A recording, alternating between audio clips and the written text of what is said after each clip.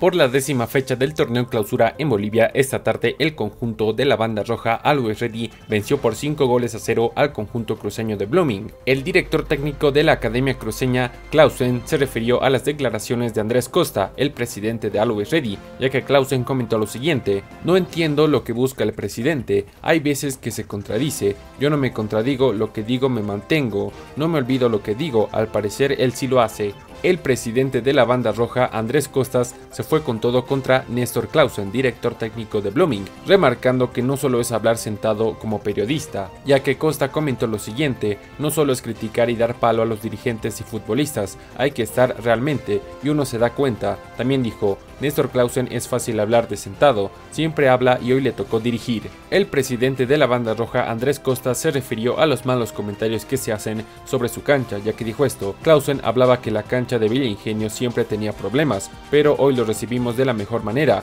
se van desmintiendo todas las falacias que habla. Siempre se habla de todos los clubes de La Paz cuando vienen a jugar, pero el paseño es un buen anfitrión. Andrés Costa también remarcó el apoyo incondicional de su hinchada en la ciudad del Alto, ya que dijo esto, lunes a las 3 de la tarde, no se ve en ningún estadio el apoyo que recibimos hoy. Contento por ello, orgulloso de nuestra hinchada. Creo que la tarea es seguir mejorando y estar a la altura de ellos. Godoy Manzanero, ya que el Club Universitario de Vinto oficializó el día de hoy la llegada de Pablo Godoy como nuevo director técnico. El paraguayo Godoy estuvo ligado hasta el 2021 en Always Ready y reemplaza en el banquillo manzanero a David Perdiguero. Pablo Godoy, el nuevo director técnico del Vinto, comentó lo siguiente, es un lindo reto para mí, una nueva oportunidad para mi carrera, agradecido con el club, vengo con muchas ganas de demostrar el trabajo y esta oportunidad la voy a aprovechar al máximo y tratar de salir del mal momento con el plantel. Tenemos varios objetivos con el plantel, debemos acumular la mayor cantidad de puntos para acomodarnos en un buen lugar y conseguir una copa, pero paso a paso, la Vinto tiene un gran plantel,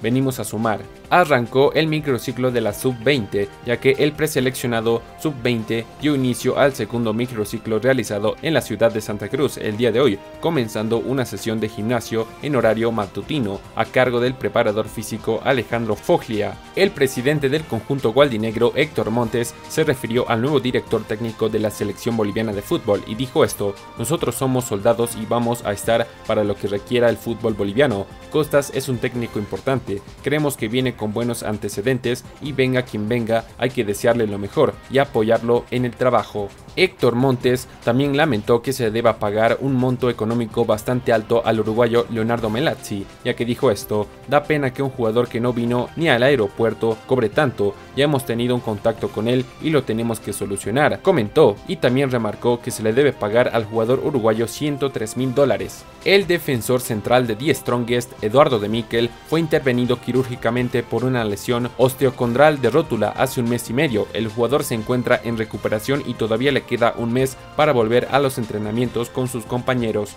El director técnico de la selección boliviana de fútbol se refirió a cómo se dará su llegada a Bolivia para empezar a dirigir la verde, ya que dijo esto, mi cabeza está en llevar a Palestino a lo más alto, mi condición era quedarme en Palestino, más allá de un contrato y mi firma tengo mi palabra con Palestino, ya que primero quiero terminar mi contrato con Palestino. Entrando en noticias sobre futbolistas bolivianos en el extranjero, el día de hoy comenzó la temporada en la segunda división de España, ya que el Deportivo de Lugo perdió por dos goles a uno frente al Albacete. Jaume Cuellar jugó desde el minuto 66 del encuentro en la derrota de su equipo. Ahora entramos con la noticia más importante del video y se trata sobre Bolivia y Argentina, ya que la Federación Boliviana de Fútbol mandó una propuesta a la AFA con un intermediario que es el empresario Silvio Fontana para llevar a cabo un partido amistoso entre ambas selecciones en el mes de septiembre para la fecha FIFA de confirmarse el partido el partido se jugaría en Estados Unidos.